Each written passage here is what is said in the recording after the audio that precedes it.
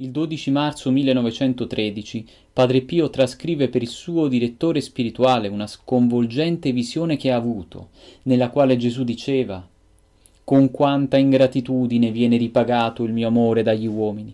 Sarei stato meno offeso da costoro se l'avessi amati di meno. Mio Padre non vuole più sopportarli. Gesù lamenta il tradimento delle anime da me più predilette. Dice che è lasciato solo nelle chiese che non si parla mai di questo sacramento di amore. Il mio cuore è dimenticato, nessuno si cura più del mio amore. E poi pronuncia parole drammatiche sugli ecclesiastici. La mia casa è divenuta per molti un teatro di divertimenti.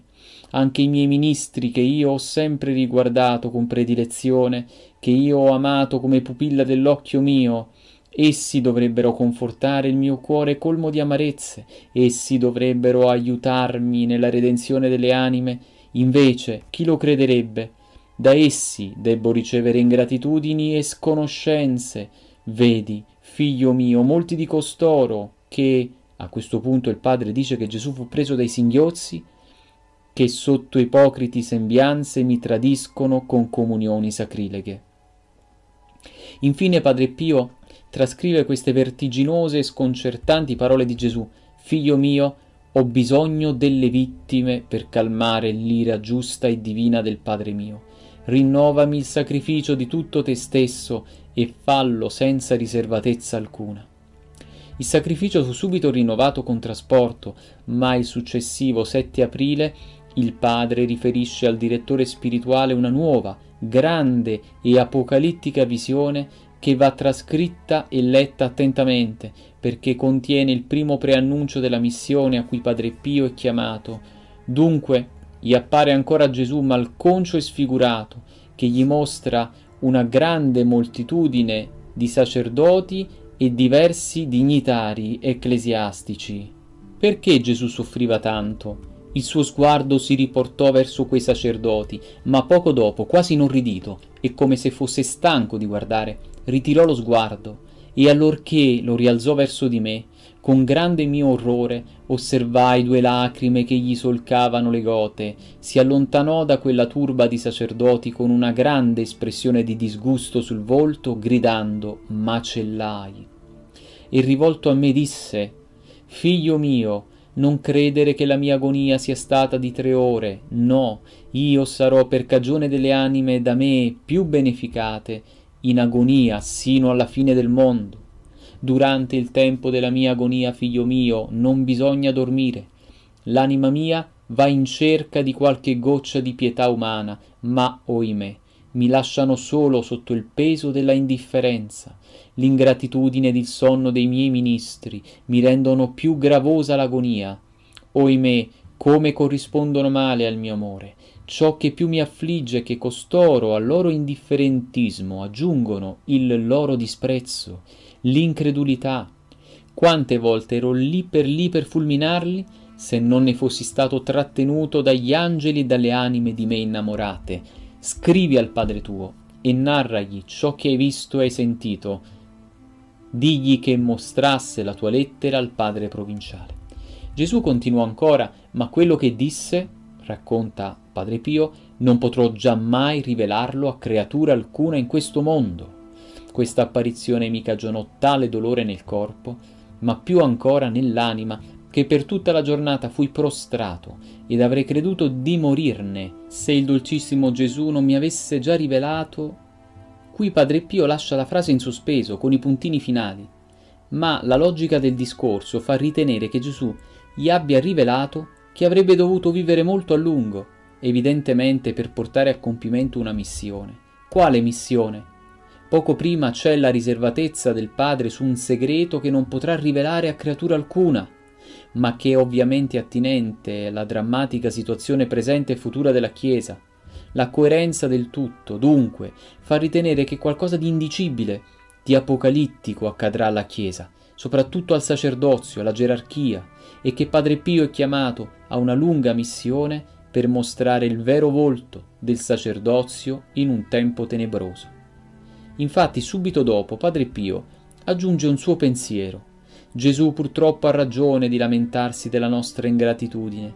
Quanti disgraziati nostri fratelli corrispondono all'amore di Gesù col buttarsi a braccia aperte nell'infame setta della massoneria. Preghiamo per costoro.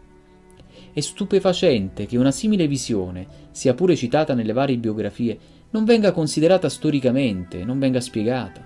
L'apparizione di Gesù tutto piagato, che grida macellai all'indirizzo degli ecclesiastici, non è certo qualcosa di banale o da mettere a margine, è qualcosa su cui meditare attentamente.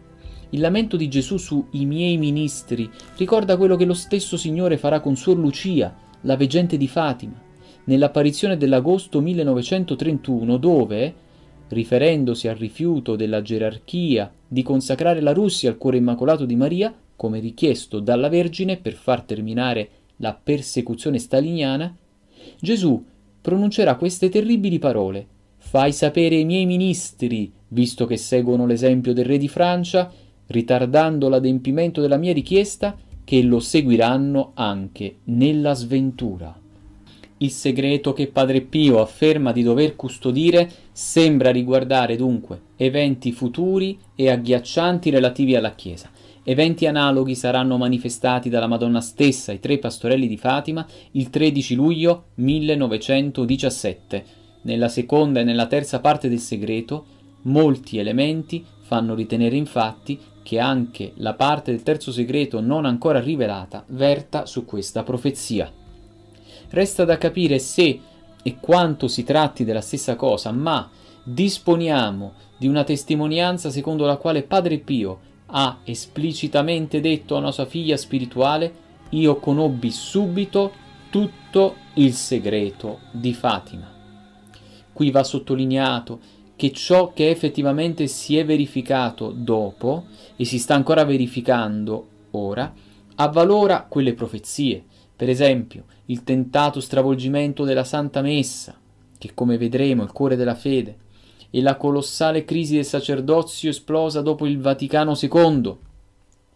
Nel delirio postconciliare, l'intolleranza clerico-progressista riuscì a far credere che fosse stata messa al bando addirittura la tradizionale liturgia della Chiesa, di origini apostoliche, e nelle chiese si perpetrarono abusi liturgici oltre il limite. Benedetto XVI, infatti, ha denunciato deformazioni della liturgia al limite del sopportabile. Fu quello il tempo di una spaventosa apostasia di fedeli e di un'apocalittica crisi del clero. Dal 1964 al 2004 circa 70.000 sacerdoti abbandonarono l'abito. Ad essi sarebbero da aggiungere 107.600 monache e suore che lasciarono le loro congregazioni fra il 1966 e il 1988.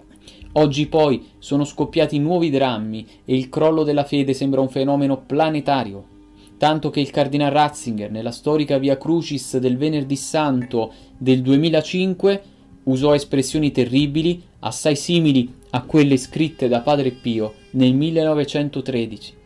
Già nella prima stazione Ratzinger faceva riferimento al tradimento di Pietro. Quante volte abbiamo anche noi, diceva Ratzinger, quante volte abbiamo preferito, quante volte anche noi abbiamo preferito il successo alla verità, la nostra reputazione alla giustizia. Dona forza nella nostra vita alla voce sottile della coscienza, alla tua voce, Signore. Guardami come hai guardato Pietro dopo il rinnegamento.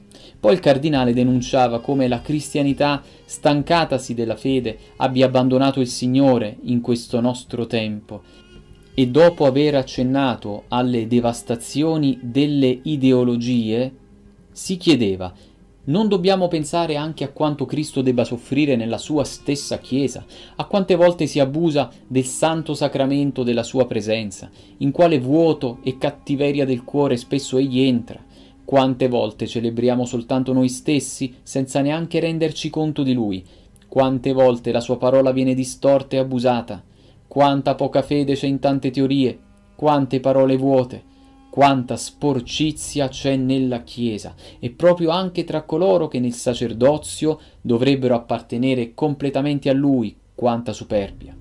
Il tradimento dei discepoli, la ricezione indegna del suo corpo e del suo sangue è certamente il più grande dolore del Redentore. E ancora, Signore, spesso la tua Chiesa ci sembra una barca che sta per affondare, una barca che fa acqua da tutte le parti.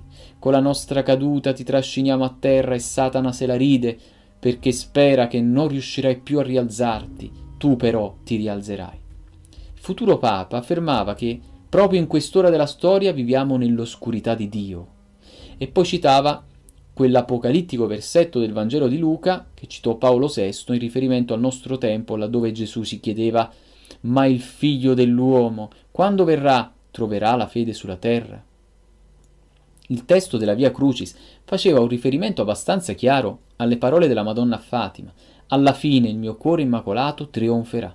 Infatti sotto la croce i discepoli sono fuggiti, ella non fugge, ella sta lì con il coraggio della madre, con la fedeltà della madre, con la bontà della madre, con la sua fede che resiste nell'oscurità. Sì, in questo momento Gesù lo sa, troverà la fede.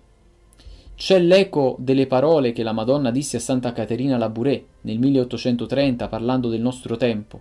Il momento verrà, il pericolo sarà grande, si crederà tutto perduto, allora io sarò con voi in base ad alcune testimonianze da Oltretevere e ad altri indizi, il testo di quella straordinaria Via Crucis, concordato fra il Papa morente e colui che sarebbe stato il successore, fu probabilmente un modo per rendere nota la parte ancora inedita del terzo segreto di Fatima che il Vaticano si era impegnato con Sor Lucia a rendere noto subito dopo la sua morte. In effetti, la veggente muore il 13 febbraio 2005 e il 25 marzo viene adempiuto questo impegno. Si trova poi una straordinaria conferma di questa ricostruzione nel libro autobiografico di Ali K, dove l'attentatore rivela due battute del colloquio avuto con Giovanni Paolo II in carcere il 27 dicembre 1983. Quando sarà rivelato il terzo segreto di Fatima, chiese a e il Papa, il terzo segreto di Fatima sarà rivelato dopo la morte di Suor Lucia. Quel libro è uscito nel 1996 e questo reso conto ha tutte le caratteristiche dell'autenticità. Ecco perché assume un significato enorme la missione affidata a Padre Pio, chiamato a diventare il primo sacerdote stigmatizzato della storia della Chiesa ma andiamo con ordine, torniamo al 1913, a quei mesi del 1913. In giugno Padre Pio scrive a Padre Benedetto Gesù mi fa vedere come in uno specchio tutta la mia vita futura, non essere altro che un martirio. Poi aggiunge che certe volte sono portato fuori di me stesso e allora il Signore suole farmi la grazia di scoprirmi alcuni segreti che mi rimangono sì impressi nel fondo dell'anima, che non se ne possono più cancellare. Padre Pio in questi mesi sempre più saldo e appassionato, come lo sta forgiando la pedagogia divina. Descrive così a Padre Agostino la condizione del suo cuore. Unico desiderio sulla terra è di contentare l'oggetto amato. Si sente morire dal desiderio di essere da lui amato, si sente di essere pronto a sacrificare la vita, se si potesse sperare con tal sacrificio di rendersi più grati ai suoi occhi. Il 20 aprile 1914 manifesta a padre Agostino il suo appassionato desiderio che tutti conoscano e corrispondano all'amore di Cristo.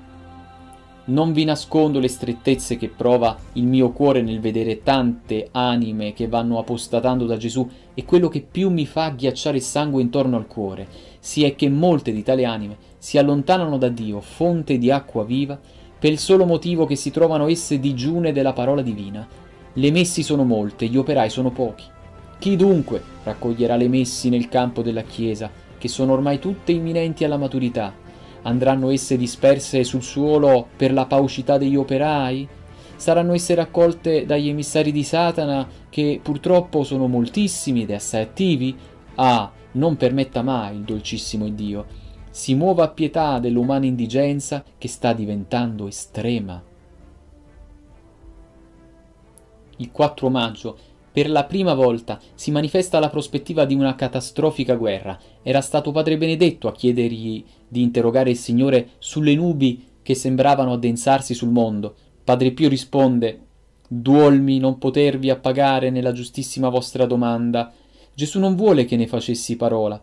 Preghiamo con fiducia il Padre Celeste per il buon esito, perché le cose si vanno piuttosto imbrogliando, e se lui non vi pone rimedio l'affare andrà malissimo.